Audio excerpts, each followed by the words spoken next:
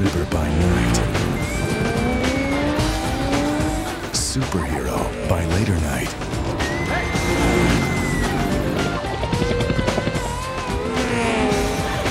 Think you can handle two of us? Stan Lee's Stripperella. Starring Pamela Anderson. Talk about a split personality. Premieres Thursday at 11 p.m. on Spike TV.